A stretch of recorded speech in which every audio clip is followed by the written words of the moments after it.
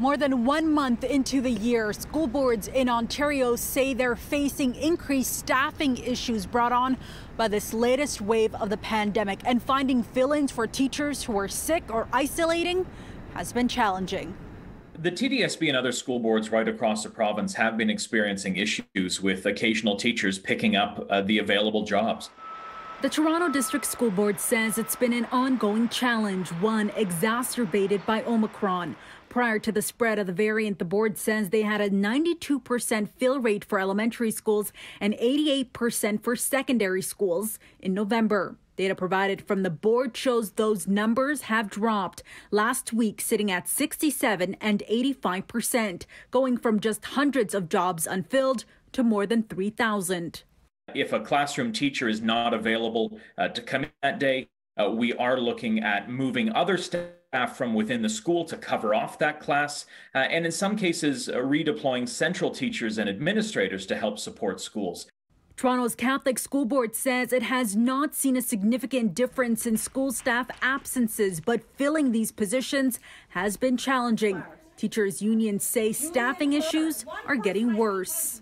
It's absolutely an issue uh, province wide.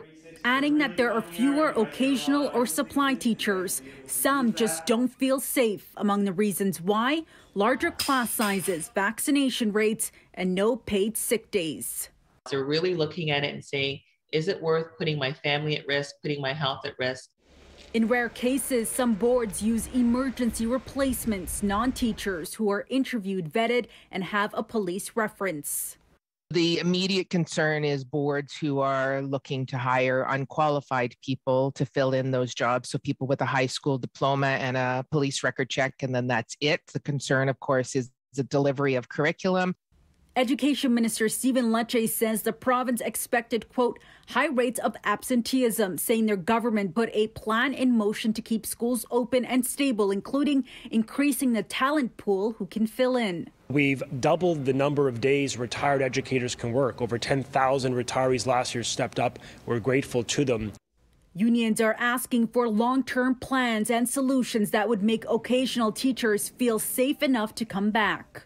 That means putting confidence back into the system uh, so people feel that they can take on these roles and support the system as they've done in the past. And really, it's because they don't feel it's safe.